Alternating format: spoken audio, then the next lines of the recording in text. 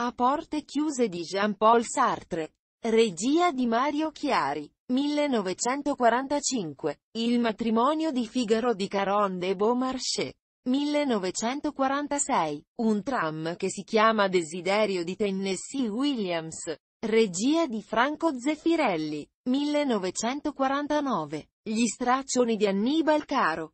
Regia di Guido Salvini. Prima al Teatro Valle di Roma L. 8 settembre 1950.